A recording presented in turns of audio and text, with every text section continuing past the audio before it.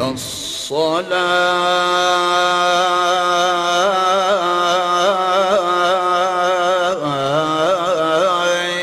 والسلام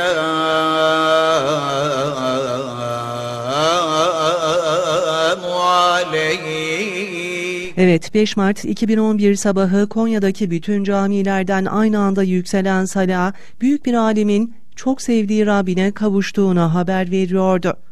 O Rabbine kavuşmuştu ama Konya hocasını İslam alemi de büyük bir alimi kaybetmişti. Hocam sen neredesin? Sen neredesin? Dünya nerede?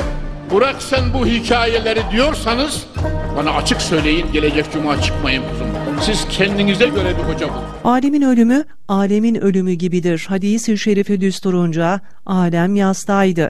1925 yılında Konya'da dünyaya gözlerini açan Tahir Büyükkörükçü, tam 50 yıl kendine özgü üslubu ve beyinlere nakşeden sözleriyle insanlığa hep doğruları, hakkı ve hakikati anlattı. Ne baskı ne işkence, hiçbir zorluk onu yıldıramadı.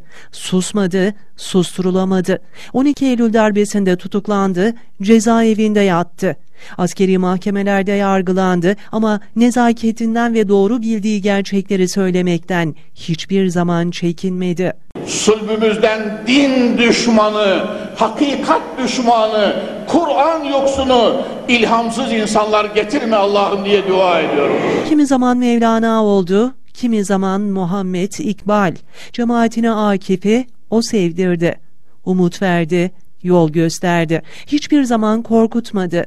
Her konuşmasında Konya başımın tacı dedi. Konya denince aşk şehri, iman şehri, Kur'an şehri, ilim şehri, Mevlana şehri, hatta dahasını söyleyeyim mi?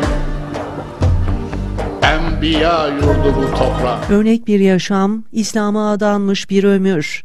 O aşk eri 5 Mart 2011'de çok sevdiği Rabbine yürüdü. Hem Konya hem de kendi deyimiyle Kapı Camii'nin kara kürsüsü Tahir hocasız kaldı. Müslümanlar ya Medine'de öleyim ya Konya'da kürsüde öleyim inşallah. 6 Mart 2011 ise Konya için tarihi bir gün oldu.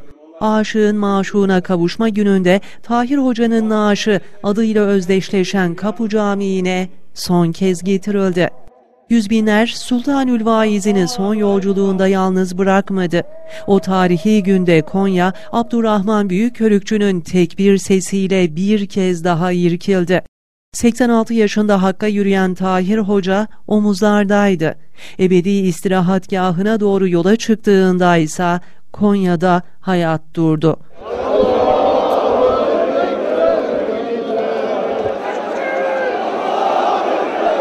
Her faniye nasip olmayacak mahşeri bir kalabalık hocasıyla vedalaşıyordu.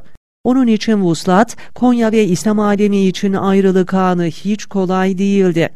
Aşk yüz binlerin omuzları üzerinde çıktığı son yolculuğunda saatler sonra Üçler Mezarlığı'na ulaştı. Ama arkasında her zamankinden daha fazla duaya ihtiyaç duyan bir ümmet bıraktı. Büyük İslam alimi Tahir Büyükörükçü, Hacı Veysade Mustafa Kurucu Hoca Efendi'nin kabrinin yakınlarında dua ve gözyaşları arasında toprağa verildi.